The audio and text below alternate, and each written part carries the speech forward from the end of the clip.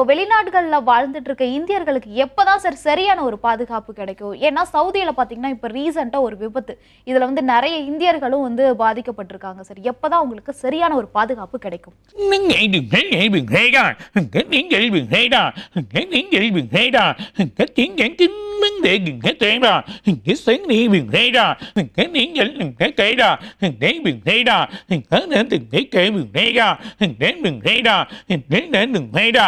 நீங்கள் ரேடா நீங்கள் ரேடா நீங்கள் ரேடா நீங்கள் கிம்மங் தேடா நீங்கள் கைடா தேவிங் ரேடா நீங்கள் கைவிங் ரேடா தேவிங் ரேடா நீங்கள் ரேடா நீங்கள் நீங்கள் பிங் ரேடா நீங்கள் பிங்கமங் தேடா நீங்கள் ரேடா நீங்கள் அதாவது சில விஷயங்கள் எதிர்பார்க்காம நடக்கிறது யாரால் தடுக்க முடியாது அது வந்து இயற்கை அந்த நிலையில் வந்து எதிர்பார்க்காம நடந்தது.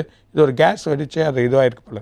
அந்த நிலையில் இது வந்து டெவலப் ஆகிருக்கு ஸோ இதை வந்து எதிர்பார்க்காம நடந்தது. அது வந்து அவங்க யாராலையுமே பொறுப்பேற்றுக்க முடியாது. ஆனால் அதே நேரத்தில் கவனக்குறையாக இருக்காதிங்க மக்கள். எந்த இடத்துக்கு போனாலும் எப்படி இருக்கும் எப்படி இருக்கும் என்ன நடக்குது என்ன வருது வெளியே? சில இடத்துல போனீங்கன்னா இப்போது துபாய் சவுதிலாம் போனீங்கன்னா காம்பேக்டாக இருக்கும்.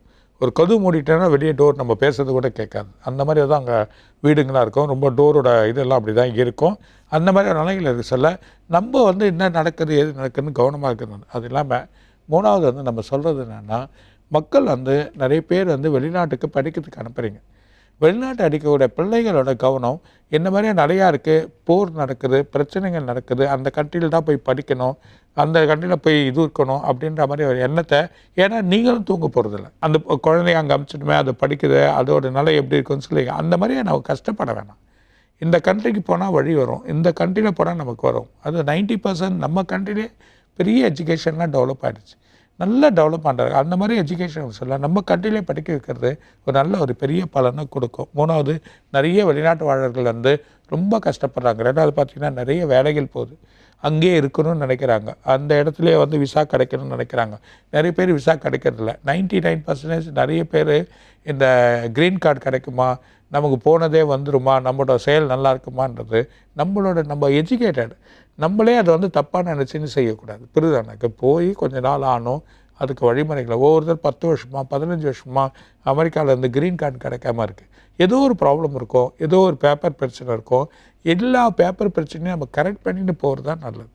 அப்படி அதை கரெக்ட் பண்ணினா தான் நல்லாயிருக்கும். ஒன்றுமே இல்லாமல் நான் போயிடுவேன்.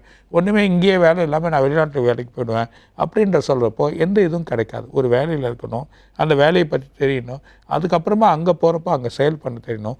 எடுத்ததே வெளிநாடு போயிடலாம் எடுத்ததே வழி பண்ணலாம் அது தப்பான ஒரு காரியம். அது இல்லாமல் ஒரு படிக்கிற மாதிரியாக போய் அங்கே வேலை செய்யலாம் அப்படின்ற சில வழிகள்லாம் செய்கிறாங்க அந்த மாதிரியெல்லாம் போகிறப்போ கொஞ்சம் கவனத்தோடு போகும் ஒரு தப்பு இருக்கிறது மேலே. அங்கே சரியான ஒரு வழி கிடைக்கல. அந்த படிப்பும் அங்கே சரியாக கிடைக்கலன்றப்போ அங்கே மாட்டின்னு தவிச்சுன்னு இருக்கணும். அதுக்கப்புறம் இங்கே தான் நம்ம பணத்தை அனுப்ப வேண்டியதாக இருக்கும். அதனால் வேலை இல்லைன்னா உடனே மாறுங்க. உடனே வேறு எதுக்கு வாங்க? அதெல்லாம் கவனத்தோடு இருங்க. பிள்ளைகள் அனுப்புறது இந்த கண்ட்ரியில் அனுப்புனா சேஃபாக இருக்கும். நிறைய கண்ட்ரி சேஃபாக இருக்குது உங்களுக்கு.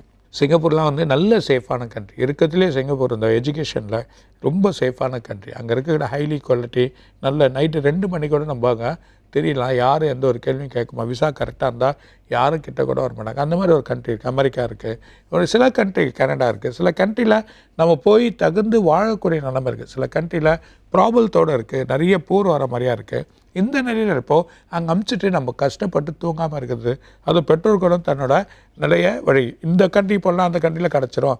அந்த கண்ட்ரியில் போய் அமுச்சிடலாம் அப்படின்ற மாற்றாதீங்க ஒரு வழிமுறையாக போங்க. அதே மாதிரி வேலை செய்கிறவங்களும் கரெக்டான வழிமுறையாக போய் பார்த்து செய்யுங்க. எல்லாத்துலையும் போய் சிக்கலாக போய் மாட்டிக்காதீங்க. அந்த சிக்கலாக மாட்டிக்கிறதுனால என்ன ஆயிடுது? நீங்கள் அங்கே போய் வேலையும் சரியாக இருக்கிறதில்ல. பிரச்சனையாகிடுது எனக்கு சேலரியும் சரியாக வரல. இங்கேயும் அனுப்ப முடியல. இங்கேயே கடன் வாங்கி வழி பண்ண நிலமையாடுது அங்கே கஷ்டப்பட்டு இந்த ப்ராப்ளம் சொல்ல இறக்குறப்போ மக்கள் வந்து இங்கே தான் ரொம்ப கஷ்டப்பட வேண்டியதாக இருக்கும். இந்த கண்ட்ரியில் எல்லா கண்ட்ரிக்கும் இவன் ஸ்ரீலங்காவில் எவ்வளோ பேர் வேலை செய்கிறாங்க ஸ்ரீலங்கன்ஸ் எந்த வேலை கொடுத்தாலும் அவங்க வேலை போய் செய்கிறாங்க அந்த மாதிரி நிலமை அவங்களுக்கு ஏற்பட்டு அதுவும் இந்தியன்ஸ் நிறைய பேர் என்ன வேலை கொடுத்தாலும் செய்யக்கூடிய நிலைமைக்கு இருக்காங்க. அதனால் கொஞ்சம் பொறுமையாக இருக்கிறது தான் நல்லது. இந்த மாதிரியா வந்து இயற்கை சீற்றத்திலையோ இல்லை எதிர்பார்க்காத விளையக்கூடிய சீற்றத்திலையோ எந்த ஒரு பிரச்சனையும் வந்தாலும் அந்த நாடு பொறுப்பேற்கிறதுக்கான வாய்ப்பு கிடையாது. அது எது யாருமே இதை கவனமாக எதுவும் செலுத்தவும் மாட்டாங்க. அது இறந்தது இறந்தது அதனால் நிலையை நம்ம பார்த்து செய்கிறது தான்